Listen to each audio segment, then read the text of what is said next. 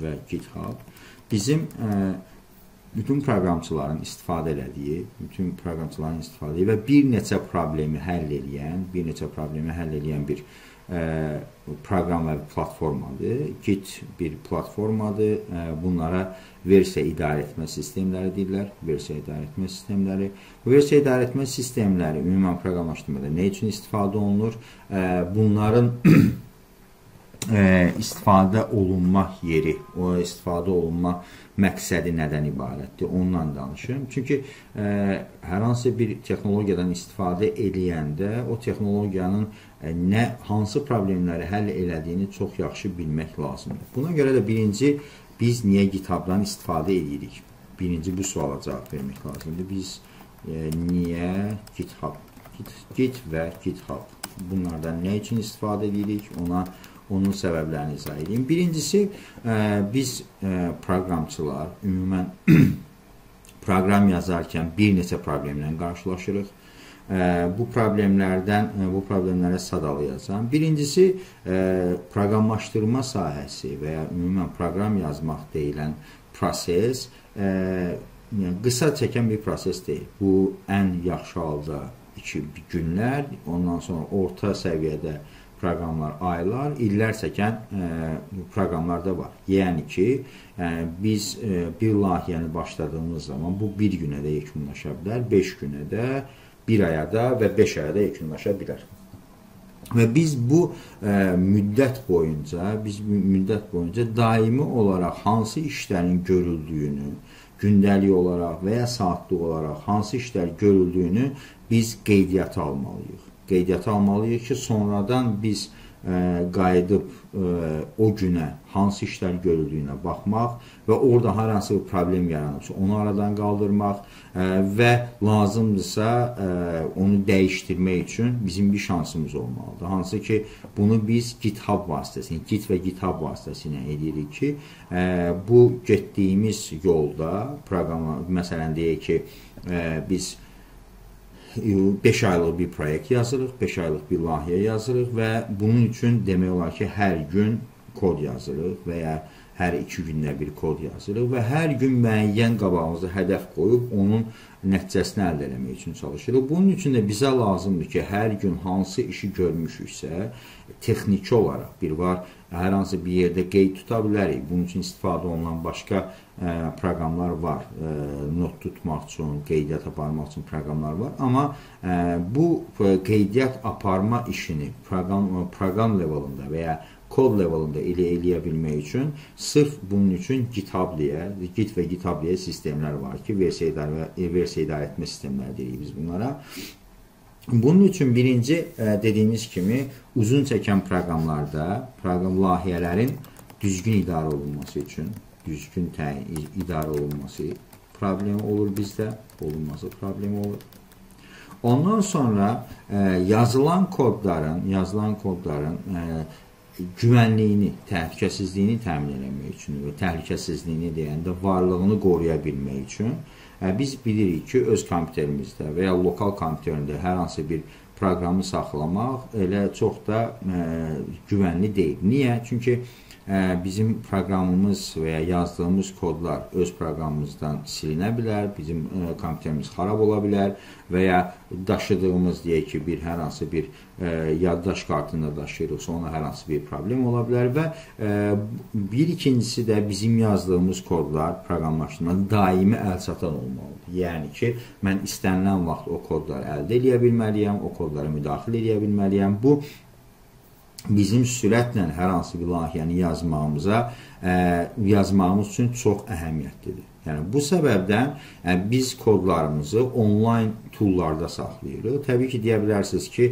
əgər onlayn resurslarda saxlayacaqsa, yəni bulud texnologiyasında buludda saxlayacaqsa, bunun üçün məsələn deyək ki, ə, onlayn olaraq Google Drive var, OneDrive var və ya başqa bu tipli platformalar var ki, siz e, istənilən qədər məlumatı orada saxlaya bilirsiniz. Amma GitHub-la bunun fərqi nədən ibarətdir? O e, platformalar, GitHub platforması və ya OneDrive platforması, bunlar fiziki olaraq salt e, istənilən faylı saxlaya bilmək üçün e, təyin olunan platformalardır. Sırf proqramlaşdırma ə, layihələrini saxlaya bilmək üçün, yəni ona uyğun bir platforma və tə, tamamən free bir platforma var ki, o da GitHub platformasıdır ki, yəni biz orada saxlayırıq biz öz proqramlarımızı ki, daimi olaraq biz onlayn olaraq onlara əl çatan ola bilsin.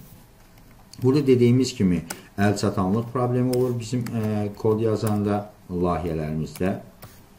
Bunun ə, problemini aradan qaldırmaq lazımdır. Çatanlıq problemi və ə, ondan əlavə də bu məsələn deyək ki, bir Git və GitHub bizim üçün bir şərait yaradır ki, biz ə, istənilən bir kodu ə, onlaynda saxlayaq və istənilən vaxt, istənilən kompüterdən, istənilən ə, şeydə yerdən onu e, əldə edə bilərik. Bu e, bununla bir yerdə bu bizə nə kömək edir? İkinci bir kömək. Ə, e, indi xüsusilə son dövrlərdə istənilən proyekt üzərində işləyəndə biz təbii olaraq ə, tək işləmirik, komanda şəklində işləyirik və komanda şəklində işləyə bilmək üçün də və son dövrlərdə də olduğu kimi bir komanda üzvlərinin eyni yerdə olmağı və bir-biri ilə fayl bölüşməsi və ya kod paylaşması ə, necə deyirlər, bir yerdə olaraq fayl paylaşımı o qədər də mümkün deyil. Niyə? Çünki ə, biz məcbur deyilik ki, bir kod yazanda, bir layihə üzərində işləyəndə eyni məkanda olaq, eyni yerdə olaq və s. və s. Bunun üçün də biz əgər komanda şəklində işləyiriksə, bizə elə bir platforma lazımdır ki, biz orada rahatlıqla bir-birimizin kodlarını görə bilək, onu analiz eləyə bilək və bir yerdə plan qura bilək və s. və s. Bunun üçün də GitHub-ın bizə verdiyi müəyyən xüsusiyyətlər var ki, biz onlardan istifadə edərək rahatlıqla bir e, e, komanda şəklində işləyə bilirik. Hansı ki, biz irəliləyən dövrlərdə də, irəliləyən dərslərdə də bunlardan istifadə edəcəyik. Yəni ki, e, bir yerdə kodlar yazacaq, ə, komanda şəklində bölünmələr olacaq və s. və s. bunlardan istifadə eləyəcəyik və ya sizin ə, hər hansı bir komandada iştirak eləməyinizi tələb eləyəcəm şey olaraq, müəllim olaraq tələb eləyəcəm ki, bir yerdə, yəni bir neçə mənim təyin elədiyim insanlarla bir proyektin üzərində işləyə biləsiniz. Bunun üçün də biz təbii olaraq GitHub-dan istifadə edəcəyik. Komanda şəklində işləmə, komanda işi üçün işi üçün istifadə olunacaq. Komanda işinin təşkilinin problem olması, işinin təşkili bu problem yaradır bizdə. Ondan sonra ikinci bir məsələ, sonuncu bir məsələdə biz artıq proqramçı olaraq özümüzü inkişaf elətdirmək üçün bizə lazımdır ki, biz öz yazdığımız kodlar haqqında feedbacklar alaq, paylaşıb feedbacklər alaq və onlarda olan problemləri kimlərəsə göstərək ki, mənim burada kodda bir müəyyən bir problemim var, bunu zəhmət olmasa izah edə bilərsinizmi deyə. Yəni bu da bizim üçün buna biz proqramlaşdırmada code review deyirik. Yəni ki, başqa birinin yazdığı kodu analiz eləyərək ona müəyyən təkliflər gətirmək, müəyyən təkliflər gətirmək. Bunun üçün də ə, yenə dediyimiz kimi GitHub burada ə, bizə çox üstünlüklər təmin edir ki, biz rahatlıqla başqa birinin koduna elə o kodun üzərində ə, müzakirələr apararaq, birbaşa kodun üzərində müzakirələr apararaq onun dəyişilməsini, onda olan problemləri üzə çıxardıq və müzakirə elə, qarşılaşdıraq ki, mənim kodum, mən belə yazmışam bu proqramı, sən belə yazmışsan və bu şəkildə ə, e, müzakirəli şəkildə kodu həll eləmək, e, problemi həll eləmək mümkündür. Və bunu indi bu bütün problemləri ə, e, təbii ki, bunun yanında gətirdiyi bir çox xüsusiyyətlər də var ki, Git-in və GitHub-ın bir çox xüsusiyyətlər var ki, biz rahatlıqla onlardan istifadə edirik. Məsələn, əgər bir onlaynda hər hansı bir məlumat paylaşımından danışırıqsa və ya xüsusilə də kod paylaşımından danışırıqsa, təbii ki, burada təhlükəsizlik məsələsi önəmlidir. Təhlükəsizlik məsələsi e, nə mənada önəmlidir? Mən məsələn istəyə bilərəm ki, yazdığım kodları heç kim görməsin və ya sadəcə mənim istədiyim insanlar görə bilsin. Bunun üçün də GitHub bizə free, public və private repo yaratmaq, yəni ki, layihə yaratmaq imkanı verir ki, mən istənilən layihəni əgər hamı tərəfindən görülməsini istəyirəmsə, bunu public yaradacam, əgər ə, necə deyirlər, hamı tərəfindən görülməsini istəmirəmsə də bunu private olaraq yaradacam. İndi bunun üçün biz nə eləməliyik? Yəni GitHub əslində anlayış olaraq, Git və GitHub anlayış olaraq çox geniş anlayışdır, amma modul 1-də bizə burada lazım olan bir neçə ə, əsas məqamlar var. Bunlar nədir? Deməli ki, e, birinci biz bilməliyik ki, mən e, öz layihələrində olan dəyişiklikləri necə izləyə bilərəm? Necə izləyə bilərəm? necə istifadə edə bilərəm onlardan. Bunları bilmək üçün birinci bundan istifadə edə üçün proqramma Git proqramını yükləməliyəm. Bunun üçün də siz buradan istifadə edib yükləyə bilərsiniz. Git download yazaraq. Bunun linkini də yerləşdirəcəm təbii ki sizin e, istifadə edə bilməyiniz üçün buradan e, hal-hazırda yükləyə bilərsiniz. Hansı e, versiyadan istifadə edirsinizsə, Mac istifadə və ya Linux istifadə edirsinizsə də fərqli şeylər var, fayllar var. Buradan Windows üçün olanı download edib öz kompüterinizə yüklədiyiniz zaman, öz kompüterinizə yüklədiyiniz zaman siz bunun yüklənib yüklənmədiyini hardan bilmək olar? Bunu yüklədikdən və quraşdırdıqdan sonra, quraşdırdıqdan sonra sizin ə, kompüterinizdə sağ klik menüsündə, sağ klik menüsündə burada ə, belə bir ə, iki dənə menü çıxmalıdır. Yəni git GUI here və git 5 deyə. Bu artıq sizə göstərir ki, siz kitabı düzgün quraşdırmısınız və düzgün istifadə edirsiniz. İndi bunu eləyə bilmək üçün bunları yüklədikdən sonra bizim ehtiyacımız var ki, bu bizim ə, deyək ki, layihəmizin ilkin ə, yaratdığım bir proyektimdir. Hansı ki, mən bu proyekt üzərində işləyəcəm və gündəlik olaraq buna əlavələr eləyəcəm.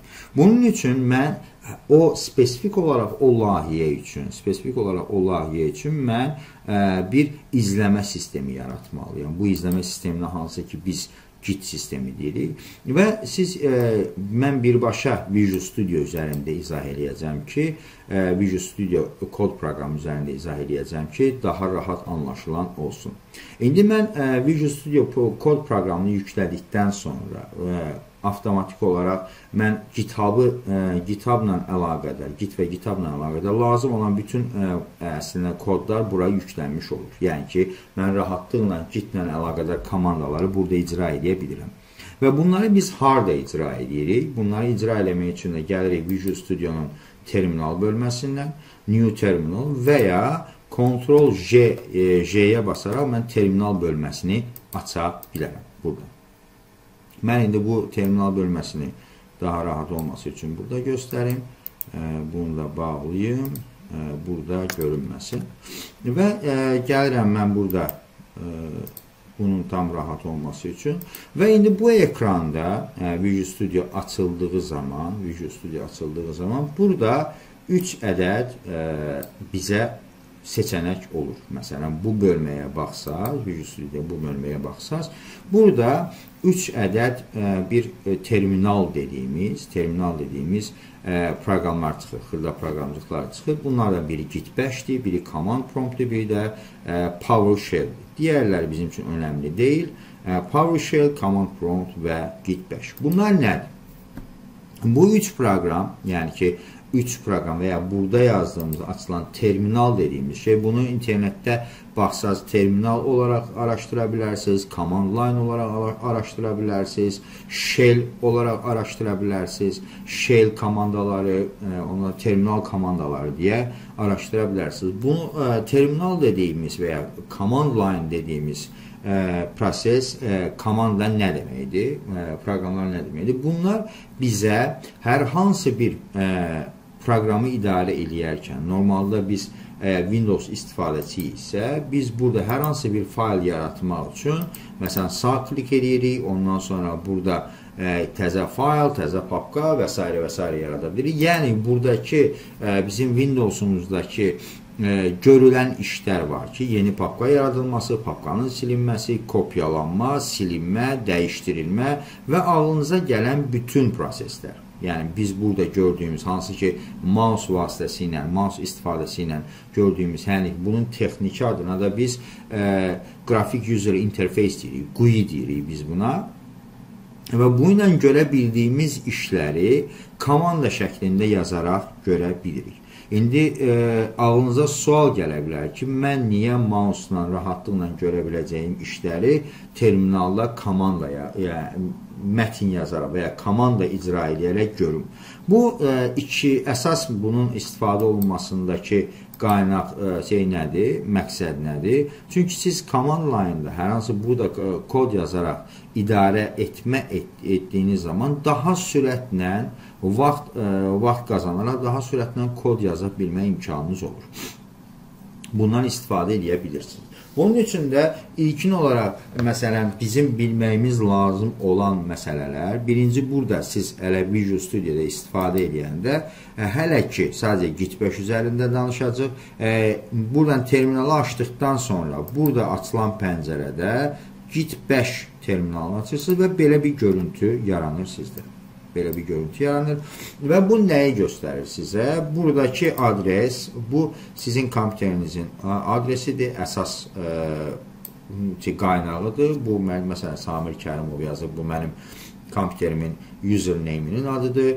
Bu mənim kompüterimin adresidir, ə, adıdır və s. və s. Buradakılar nədir?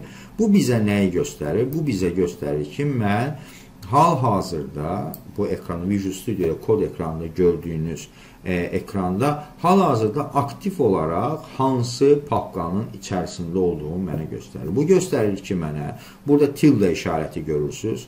Bu tilde işarəti bizə əslində nəyi göstərir? Tilde işarəti Windows-da Bunun mənası nə deməkdir? Tilde işarəti əslində Windows olaraq bizə göstərir ki, mən hal-hazırda hardayam, Asus adında kompüterin içərisindəyəm. Yəni tildanın mənası o deməkdir ki, yəni siz hal-hazırda C-nin içərisində, C folderının içərisində hansı aktiv user, e, kompüter user olaraq istifadə edirsinizsə, o userın içərisindəsiniz. Və buradakı bütün komandaları mən burada görə bilirəm. Yəni e, bunu göstərə bilirəm və Ondan sonra bu tildadan sonra mənə deyir ki, sən o tildanın ümumi əsas, biz buna root folder-da deyəcəyik bundan sonra. Root folder, əsas folder, ana folder deyə biləcəyik, qovluq deyə biləcəyik. Mən onun içərisində dokument folderında, onun içərisində yaradılan pragmatik folderın içərisində modul 1 ə, folderının içərisindəyəm hal-hazırda aktiv olaraq. Bunu bu şəkildə də görə bilərsiniz. PVD yazaraq sadəcə ə, e, PVD komandası yazaraq da görə bilərsiniz. Bu sizə bütün adresi göstərir. Deyir ki, siz hal-hazırda hardasınız? C-nin içərisində, users papkasının içərisində Asus, bu şəkildə siz bu papkanın içərisindəsiniz. Və indi ə, e, mən bu adicə bəsit ə, e, command line-dan istifadə edərək ə, e, papkalar arasında gəzə bilmək üçün, yəni papkalar arasında gəzmək yəni nəyi nəzərdə tuturam? Bir papkadan çıxıb başqa bir papkaya girmək, papkanı silmək, papkanı dəyişdirmək və ya fayl yaratmaq və s. və s. bunlar haqqında müəyyən komandalar yazacağam. İlkin bizə lazım olan komandalar. Mən məsələn hal-hazırda mən əgər gəlib bura CD nöqtə yazsam, ə, CD pardon, CD yazsam, bu mənə baxın nəyi göstərir? Bu avtomatik olaraq məni hal-hazırda apardı hara? Mənim Asus dediyim yerə. Yəni ki, sadəcə CD yazaraq mən o papkamın yerini dəyişdirmiş oluram. Yəni getmiş oluram hara? Mənim root folder dediyim folderə. Yəni, bunun root folder olub olmadığını başa düşmək üçün, əslən burada görə bilmək üçün dir adında bir dənə komanda var. Dir nə deməkdir? Bu hansı papkanın içərisindəyəmsə, onun içərisində nə olduğunu siyah olaraq mənə göstərən bir dənə komandadır. Məsələn, mən dir komandasını bura verdiyim zaman, diqqət edin bura, burada hansı papkalar var? Fikir verin. Hansı ki, burada mənim bu papkamda olan, bu qovluğunda olan bütün fayllar hamısı burada mövcuddur. Diqqət edirsinizsə, gələk bura. Baxın, ə, burada məsələn app data var, məsələn, bəzilər gizli fayllardır, məsələn, app data var, ondan sonra buradakı, məsələn, deyək ki, postman var, deyək ki, Postman gələk məsələn fikir verirsiniz. Yəni buradakı fiziki olaraq gördüyümüz bütün papkaların hamısının siyahısını mən burada görə bilirəm. Bu artıq mən buradan əmin oluram ki, mənim bu papkam ə, o C Asus dediyim papkadır. Və ondan sonra mən bu papkadan yola çıxaraq ə, bunun içərisindəki istənilən papkaya daxil ola bilərəm. Mən indi buradan hara getmək istəyirəm? Misal üçün, hal-hazırda bizim aktiv olan papkamız hansıdır? Dokumentin içərisindəki papkalar. Gəlirəm bura, deyirəm ki, CD, change directory deməkdir bu. CD, change directory deməkdir. Deyirəm ki, mən bunu yazmaq üçün deyirəm ki, CD documents. Bu mənə nəyi göstərir? Deyir ki, zəhmət olmasa, bu ə, e, Asus folderunun içərisindəki documents papkasına daxil ol. Gördüyünüz kimi, avtomatik olaraq məni götürür bunun içərisinə. Və mən burada bir dənə dir yazaraq bu komandanın içərisinə girə bilərəm. Deyir ki, baxın, Camtasia var, Pragmatic var və s. və s. var. Mən indi buradan hara girmək istəyirəm? CD Pragmatic. Papkasına girirəm. Gördüyünüz kimi məni göndərdi bura. Bunu da dir elədiyimiz zaman görürsünüz ki, bu papkanın içərisində hansı fayllar olduğunu mənə göstərir. Mənə burada artıq lazımdır. Nə? CD modul 01 papkası lazımdır və artıq mən bu papkanın içərisindəyim. Hal-hazırda burada gördüyünüz kimi modul, hətta bunu ə, dir eləsək, hal-hazırda bunun içərisində fikir verirsə, sadəcə mənim bir faylım var, readme md faylım var. Və ə, bunu istifadə və burada görürsünüz ki, biz artıq GUI-dən, yəni ki, qrafik user interface-dən istifadə eləməsək də rahatlıqla bir papkadan başqa bir papkaya keçid eləyə bilirik və s. Və indi Burada sadəcə bu papkalar arasında gəzmək yox. Mən məsələn bunun içərisində bugün üçün məsələn hər hansı bir e, fayl yaratmaq istəyirəm. Fayl yaratmaq istəyirəm deyək ki, və ya var olan bir faylı silmək istəyirəm. Bunların bütün komandaları mövcuddur. Və ya mən hər hansı bir papka yaratmaq istəyirəmsə bunun daxilində ki, e, deyəcəm ki, e, introduction introduction deyə Action deyə bir yəni, papka yaradacam burada. Fikir verirsiniz. Make-dir. Bu əslində bunun açıqlaması nədir? Make directory deməkdir. Yəni ki, papka yarat deməkdir. Mən bunun içərisində make directory dedim, introduction dedim. Məsələn, burada görürsünüz ki, mən bunu səhv yazmışam. Bu papkanı mən silə də bilərəm. Necə? rm-dir, yəni remove directory deməkdir. Onun birbaşa adını yazım. Introduction yazmışam səhv yazmışam məsələn. Onu silirəm. Bunu silirəm və təzədən bunu düzgün şəkildə yaradıram və rename də eləmək olardı. İndi onu da göstərərəm. Təzədən bunu mən ə, e, gəlirəm deyək ki, introduction yazım. Bunu yaratsın. Və ondan sonra gördüyünüz kimi mənim ə, e, papkamın adı, buradakı qovluğumun adı nədir? İntroduction. Mən bunu dəyişdirib eləmək istəyirəm. Introduction eləmək istəyirəm. Bunun üçün də deyəcəm ki, rename rename uh, introduction introduction bunun yerinə intro introduction deyə yazacağım.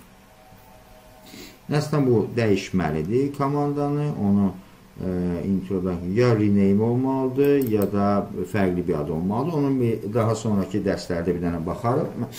Əzbərimdən çıxmış ola bilər.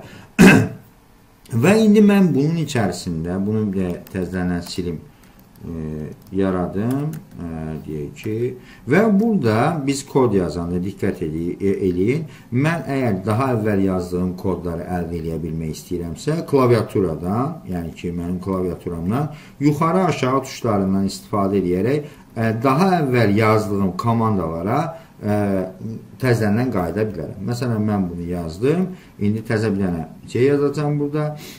Make-dir intro introduction. Introduction deyə bir papka yaratdım və bunun üzərində işləyəcəm. Və mən indi bu ə, e, papkanın içərisində hər hansı bir fayl yaratmaq istəyirəm. Ə, e, fayl yaratmaq istəyirəm. Bunun üçün də mən nə edəcəm? Deyəcəm ki, sırf git başdan ə, e, istifadə edirik. Bu terminaldan istifadə edirik biz hal-hazırda. Onun üçün bura touch komandası yazırıq. Touch komandası yazılıb və bu touch komandası ilə deyirəm ki, mən bir fayl yaratmaq istəyirəm. Harda yaratmaq istədiyimi bildirirəm. Deyirəm ki, introduction slash bunun içərisində yaratmaq istəyirəm. Deyirəm ki, sample txt adında bir dənə fayl yaratmaq istəyirəm. Və hətta diqqət edirsinizsə, buradan mən gəlsəm desəm ki, dir introduction, yəni ki, bu nə deməkdir? Mənim o papkamın içərisində nələr varsa mənə göstər direktorunu göstər. Bu sample txt-ni mənə göstərir burada. yəni ki, o faylın yaradıldığını mən burada da görmüş ola bilirəm. Və indi bunlardan bu bizim e, və ondan sonra burada görürsünüz ki, ekranda terminalda mən bir çox kod yazmışam. Bunun ə, e, ekranımı tutmaması üçün clear komandası ilə mən bunları silə bilərəm. Və ə, e, biz proqramlaşdırma öyrənəndə, proqramlaşdırma öyrənəndə bizə lazımdır ki, biz daimi olaraq ə, bu əlimizin terminal üzərində ə, sürətli yazmağa, terminalı sürətli istifadə etməyə əlimizi alışdıraq. Bu mənim özümün şəxsən belə deyil də çox ə, alışdığım bir məsələ deyil, amma bu mənim üçün özümə şəxsən mənim üçün bir əksiklikdir əslində. Və ə, indi mən buradan istifadə eləyərək, bu komandalardan istifadə eləyərək, yəni ki, terminalda kodlar yazaraq öz layihəmin idarə olunmasını təmin eləyəcəm. Bunun üçün gəlirəm necə? Bir neçə komandam var. Ə, hazır komandaları bunları özünüzdə test eləyə bilərsiniz, yoxlaya bilərsiniz. Mən buradan indi birinci komanda olaraq, mən hal-hazırda aktiv olaraq hansı layihənin üzərindəyəm? Modul 1 layihəsinin üzərindəyəm.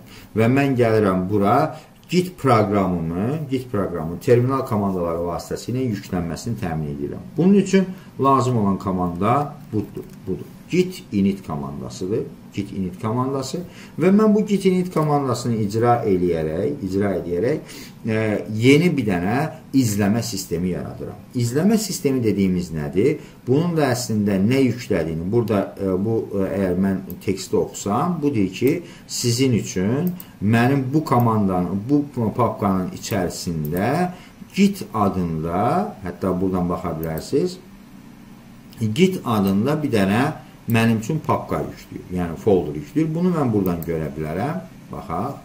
Hətta ə, e, bu papkanın ə, e, açıla bilməsi üçün bu normalda burada görünmür. Diqqət edirsinizsə, burada görünmür. Görünməməsinin səbəbi odur ki, bu yaradılan bu papka, git papkası, bu gizli papkadır. Yəni gizli papkalar, gizli qovluqlar burada görünmür. Mən bunları görə bilmək üçün gedirəm buradan Visual Studio'dan deyirəm ki, bu papkanın olduğu yeri mənə göstər. Bu mənim üçün avtomatik olaraq mənim aktiv olaraq hansı papkanın üzərində işlədiyimi göstərir. Təkrar ə, deyirəm. Və buradan Reveal in File Explorer deyə buna baxa bilərik.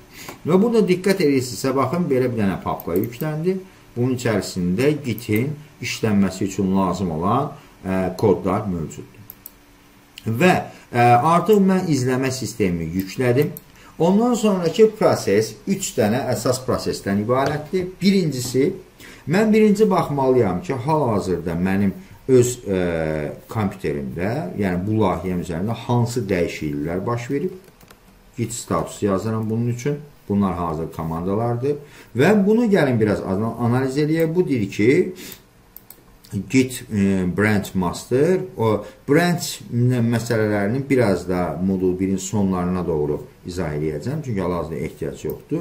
Burada commit dediyimiz şey, commit dediyimiz şey nədir? Onun da tərcüm, texniki olaraq tərcüməsini verim. Commit ə, e, sizin hər hansı bir gördüyünüz işə əlavə elədiyiniz izahatdır. Yəni ki, mən bu işi görmüşəm. Ə, izahat gördüyünüz işə izahatı hara yazırsınızsa, biz o yazılan izahata commit deyirik. Ə, və ondan sonra gəlirik aşağıya. Burada yazdım məsələn untracked files. Untracked files sözünün mənası o deməkdir ki, sən hər hansı bir proses aparmısan bu layihənin üzərində, amma o apardığın işlər, gördüyün işlər. Məsələn, biz nə iş gördük? Readme adında bir fayl yaratmışıq. Introduction adında bir papka yaratmışıq. Onun içərisində sample txt adında bir dənə fayl yaratmışıq. Bu gördüyümüz işləri biz izləmə sisteminə, izləmə sisteminə əlavə eləməmişik ki, mən bilməliyəm ki, sabah mən hansı işləri görmüşəm. Və git bunun üçün bizim üçün çox önəmli əhəmiyyət kəsb edir ki, ə, e, mən burada hansı istər fayl yaradılma olsun, faylların dəyişdirilməsi olsun və s. və s. bu bütün bu prosesi mən görə bilirəm burada. Və ona görə bu mənə deyir ki, git deyir ki, sən ə, e, müəyyən dəyişikliklər eləmisən, amma bunları sistemə əlavə etməmisən əlavə etməmisən, bunlar üçün mənə göstərilir. Və ondan sonra mən deyirəm ki, mən deyirəm ki, əgər mən bunları əlavə eləməmişəmsə, bəs mən bunu izləmə sisteminə necə əlavə edə biləcəm? Hətta bu o qədər git o qədər rahatdır ki, və sizə də göstərir ki, bunları əlavə eləmək üçün buradan istifadə edə bilərsiniz. Bu komandadan istifadə edə bilərsiniz. Git add e, burada məsələn hansı faylı əlavə eləmək istəyirsinizsə, onu yaza bilərsiniz. Bunun da git add-i bir neçə variantda eləmək mümkündür. Əgər sadəcə spesifik bir faylı izləmə sisteminə əlavə etmək istəyirsinizsə, məsələn, mən readme.md faylını əlavə etmək istəyirəm. Bunu əlavə edəcəm və təzədən git statusa baxanda diqqət edin, bu artıq readme faylı e, izləmə sisteminə əlavə olundu, amma hələ ki introduction əlavə olunmuyor. Yəni bunu istəsəz tək-tək də edə bilərsiniz, amma ə, e, vaxt getməməsi üçün birdən-birə bütün fayllarında izlənmə sisteminə əlavəsini təmin edə bilərsiniz. Bunun üçün də lazımdır komanda git add komandasıdır. Git add boşluq nöqtə komandasıdır. Bu nə edir? Yenə baxaq. Gördüyünüz kimi buradakı hansı faylların əlavə olunduğunu mənə göstərir. Və indi artıq mən bu burada iş görmüşəm bunun ə, e, bir izləmə sisteminə əlavə, olun, əlavə olmasını təmin elədim və indi artıq növbə gəldi nəyə? Burada gördüyüm işə bir etiket yazmağa, bir açıqlama yazmağa ki, sabah mən onu analiz edəndə baxım ki, mən burada nə iş görmüşəm. Bunu yazmaq üçün də belə yazırıq. Git commit m ə, yeni ə, fayllar yaradıldı və ə, git komandaları komandaları üzərində komandaları üzərində işlər görüldü. Və burada diqqət edirsinizsə, diqqət edin, bu komandalara diqqət edəcəyimizləndir. Bu git boşluq, commit boşluq, -m boşluq. Ondan sonra dırnaq içərisində mən istədiyim commiti yaza bilirəm. Və bunu yazdıqdan sonra bu artıq mənim üçün gördüyüm işləri, bu mənim üçün gördüyüm işləri artıq ə, mən deyək ki, yarım saat iş görmüşəm və ya bir saat iş görmüşəm. Orada görülən işləri artıq izləmə sisteminə əlavə eləyib ə, yaddaşda saxlayıram. Və bunları da görə bilmək üçün ki, nə işlər görmüşəm, git log adında bir dənə komanda şəklində mən buradan görə bilirəm ki, mən hansı tarixdə nə işlər görmüşəm. Bunları mən görə bilirəm. Və indi gəlirik bizim əsas istifadə edib, sizin əsas bizə lazım olacaq tərəflərə. Onlar da nədir? Deməli, ə, biz məsələn bu dəyişiklikləri elədik, amma diqqət elədiksə biz bunların hamısını öz lokal kompüterimizdə elədik. Yəni, amma bunu kimlənsə və ya bunun müəllimin görməsi lazımdır, kiməsə paylaşmaq lazımdır və ya bayaq dediyimiz kimi onlayn bir yerdə saxlamaq lazımdır bu görülən işləri. Bunları eləmək üçün də nə eləmək lazımdır? Bunun üçün də biz GitHub platformasından istifadə edəcəyik. Buradan GitHub platformasından qeydiyyatdan keçirsiniz. Bu sizə belə bir profil verir. Ondan sonra gəlirsiniz burada ə, özünüz üçün necə ki git init eləyərək yeni repo yaratmışdınız. Biz bundan sonra buna repo deyəcəyik. Mən burada təzə bir dənə sırf bu layihəm üçün yeni bir dənə ə, repo yaradacam. Və buna deyəcəm ki, bunun adı olsun nə? Modo 01. Və burada da sizə şərait yaradır ki, mən məsələn hal-hazırda bu layihənin sadəcə mənim tələbələrim tərəfindən görülməsini istəyirəm. Başqa heç kim görməsini istəmirəm. Ona görə mən burada public yox, private repo yaradacam. Private-ə işarət deyirik və create repositioner deyirik. Və ondan sonra bu bizim üçün belə bir dənə link yaradır. Diqqət edirsinizsə, bu mənim repomun URL-idir və burada diqqət edin.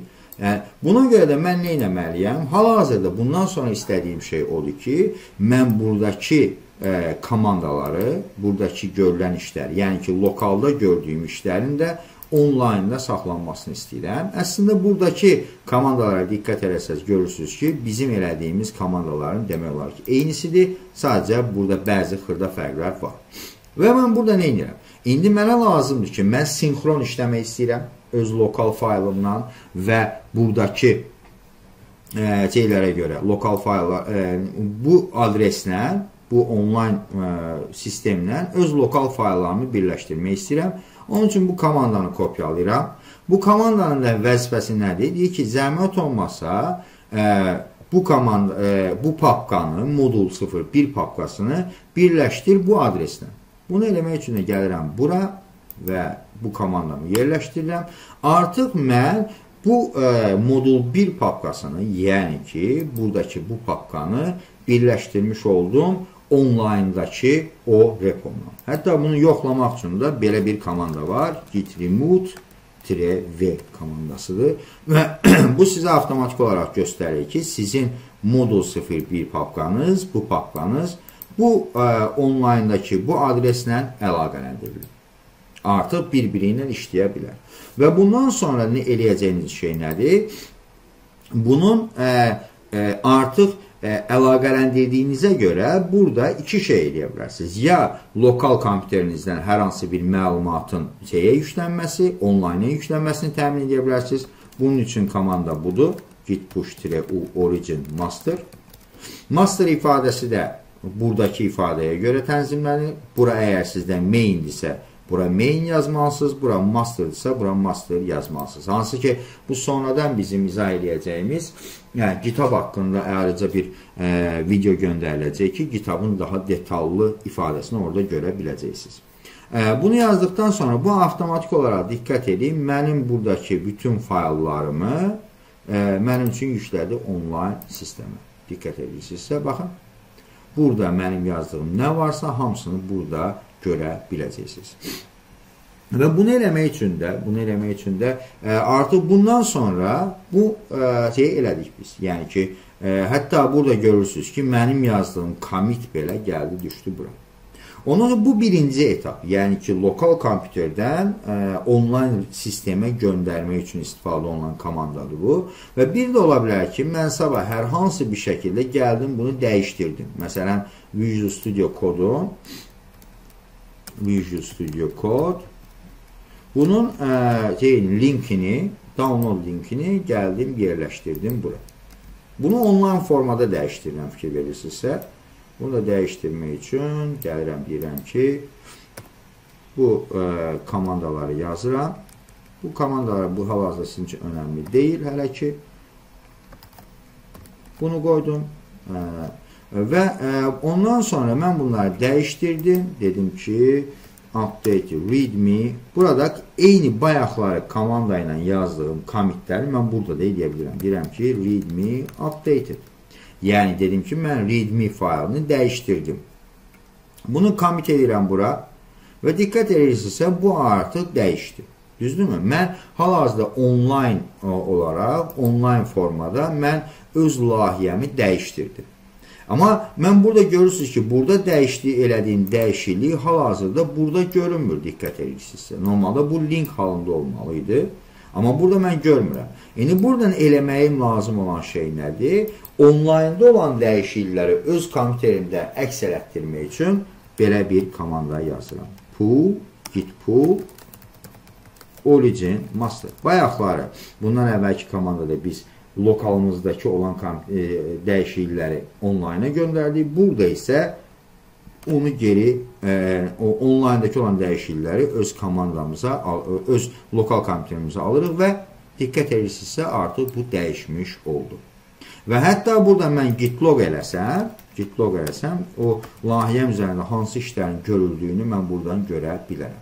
Fikir verirsinizsə, bunun bütün komandalarını görə bilərəm. İndi bizə lazım olan ilk e, komandalar bunlardır. İlk komandalar bunlardır.